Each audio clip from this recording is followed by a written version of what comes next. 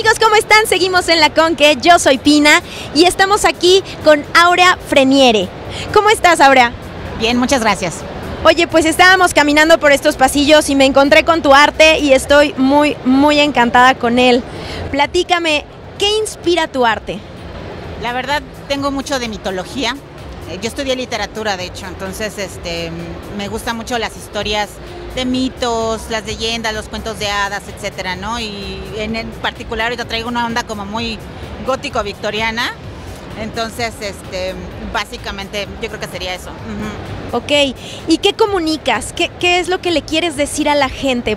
Pues mira, más que soy artista de cómic, ¿no? Vamos a empezar por eso. Entonces, pues bueno, con el artista de cómic uno quiere comunicar una historia, un mensaje, ¿no?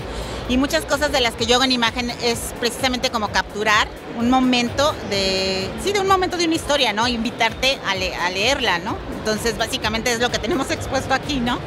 Claro. ¿Y qué le puedes decir a la gente que quiere dedicarse a esto?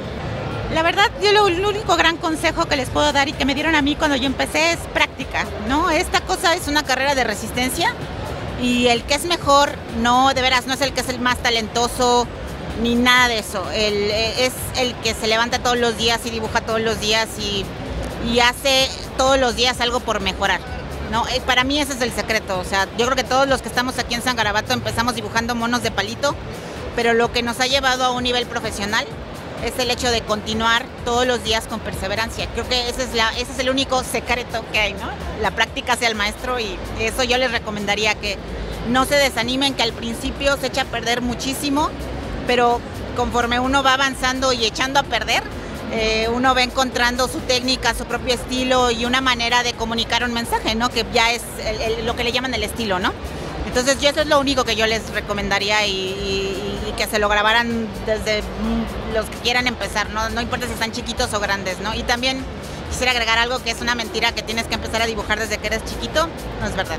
También, si tú quieres algo lo puedes, lo puedes conseguir, te va a tomar tiempo, pero lo puedes conseguir, ¿no? Cualquier persona es capaz de dibujar. Yo sí, yo sí creo. O sea, una- hay, hay gente que tiene más sensibilidad que otra para hacer las cosas, eso es total y completamente cierto. Pero yo creo que el dibujo sí hay una cuestión obviamente de profesionalismo, de que te estresas porque tienes que sacar la chamba. Nosotros que comemos de esto es distinto. Pero el dibujo también es placer y el dibujo también es diversión. Y entonces no todo tiene que ser súper intenso y súper acá, ¿no? También hay un, hay Nosotros seguimos dibujando, no nada más porque hemos encontrado una manera de ganarnos el pan, seguimos dibujando porque nos gusta dibujar. Y eso nos hace buenos en el, en el trabajo. Yo siento que esto aplica no nada más al dibujo, aplica para cualquier profesión. La gente que es buenísima es porque al final del día, a pesar de que llegan cansados y agotados, disfrutan su trabajo, ¿no? Entonces, Claro, pues muchísimas gracias. Ahora una última pregunta. La gente que quiera seguir tu trabajo, que quiera ver lo que tú haces, ¿dónde lo puede hacer?